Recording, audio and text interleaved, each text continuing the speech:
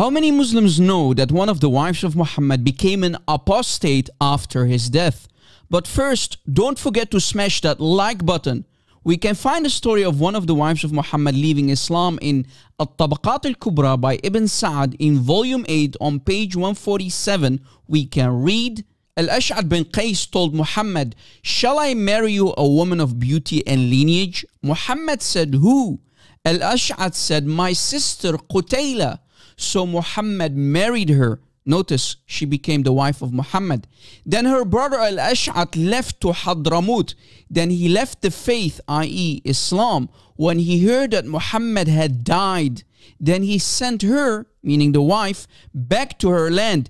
And he became an apostate, and Qutayla became an apostate and so did others as well. Later, this same ex-wife of the Prophet even married another man, Ikrama bin Abi Jahl, and Caliph Abu Bakr wanted to burn her alive, but Umar said leave her alone because she is not considered to be among Ummahat al-Mu'mineen anymore.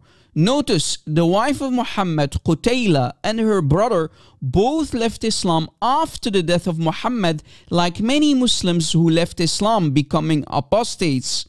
Abu Bakr, as the first caliph of the Ummah, then raised the famous Ridda Wars, the apostasy wars, to bring back the apostates back to Islam by force or else.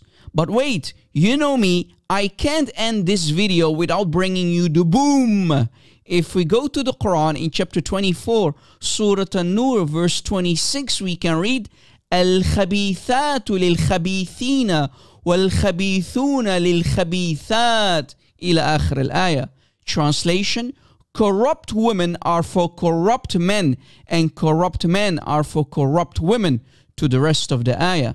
Since an apostate is considered to be a khabith in Islam, then Muhammad must be a khabith as well, according to the logic of this verse.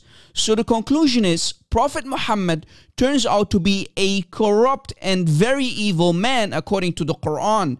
Oh boy. Don't forget to share this video on social media and stay away from Islam.